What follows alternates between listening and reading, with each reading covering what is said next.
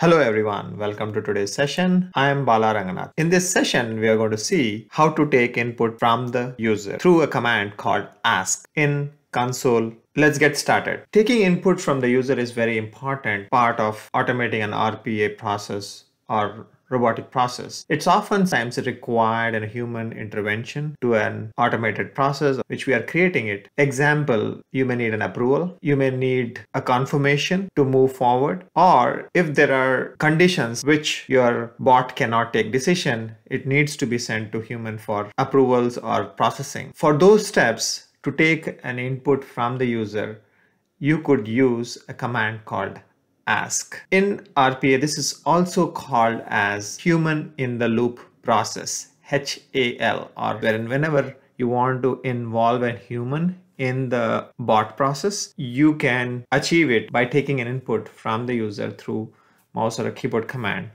The command is called ask. Ask is pretty straightforward. It prompts for user to enter something pretty straightforward in a command prompt the syntax is ask and a prompt. Ask and the prompt prompt has a statement. Whatever the statement user wants to ask. Example, what is the date of the receipt? And you provide the format and the date. Or what is your designation? Let's look into the example, how to use ask, how to store in the memory and how to display back. Let's jump into it. Start your notepad++. Just type ask as the syntax is and provide a prompt. In my case, I would ask enter your designation for approval and just save. Go to your location where you want to save it. In my case, I'm going to save it in TagUI flow slash example.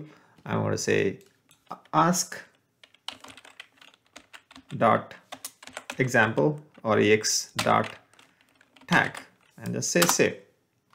So now you see it has saved as ask dot tag. Now launch your command prompt. You can launch it by going to start menu. In the start menu, you have uh, Windows systems. In the Windows systems, you have command prompt. You can click on command prompt and uh, go to your directory where your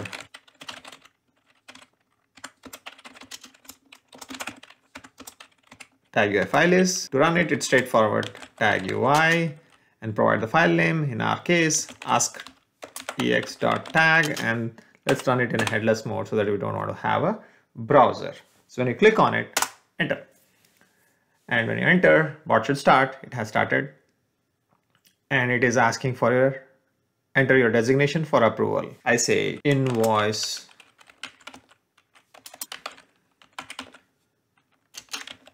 admin and enter. So this finishes. So in this example, we have just entered and ask has taken the input, but we are not able to reproduce the input. So let's, let's look into the example of how do we store the information, how do you retrieve back.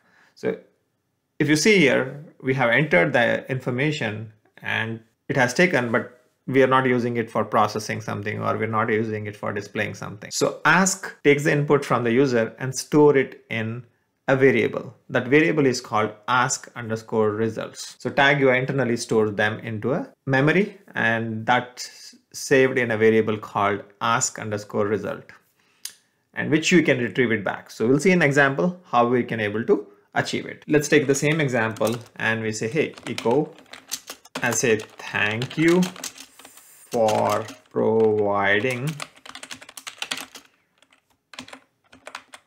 designation and display the designation. So that should be displayed in a in a quotes as ask underscore result and close the quote. So it has to be displayed in this particular fashion so that it gets displayed back. To make it a little bit more neat, I'll add a line to this process so that it looks a little bit demarked. Okay, so let's save this and run it again. The same statement, enter. So we entered, it started again, and it is asking for the designation.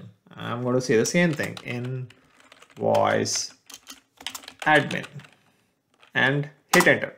Now you see thank you for providing designation invoice admin. So in, in this example, you have just seen that I have provided only, I have provided only the message and I'm just displaying it as what has been inputted by the user. So whenever you say ask underscore result, ask underscore result is stored by ask command in this variable called ask underscore result and uh, result gets stored and then you can always retrieve it back by just calling it within this codes. The codes are important. If you don't give the codes, it will treat it as a normal statement. You have to put it between these codes to really display the value. This finishes our session for ask. We'll see another command in the next session.